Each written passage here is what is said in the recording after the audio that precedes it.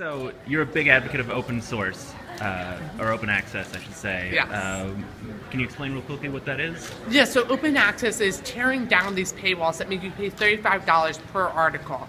And by tearing down these paywalls, we make access to information so much easier and accessibility of scientific research to the vast public really amazingly simple.